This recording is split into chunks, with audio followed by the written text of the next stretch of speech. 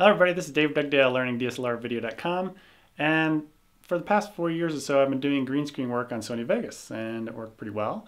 But now I've got Adobe Premiere Pro CS5, I want to try some green screen work. So back behind me I've got my black screen up, and behind that is the green screen, so I'm going to take the black screen down, and we're going to try to do some green screen work. As you can see I got the green screen going on behind me. Um, I moved my mic over here, Still got my lights set up the exactly same way, aperture, everything's the exact same way. The only thing I did in terms of lighting was turn on my green screen lights that you can maybe see just out of the frame right here. So let's go ahead and test this. What I'm gonna do is snap my fingers and take me to some photos that I think were pretty cool. Maybe I'll do some of my HDR photos. Okay, here we go.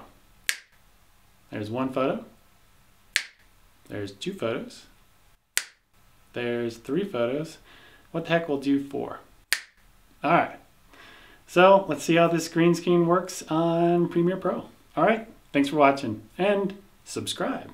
Subscribe somewhere. YouTube, Vimeo, my own website, email alerts. Got them all. All right. Talk to you guys later. Bye.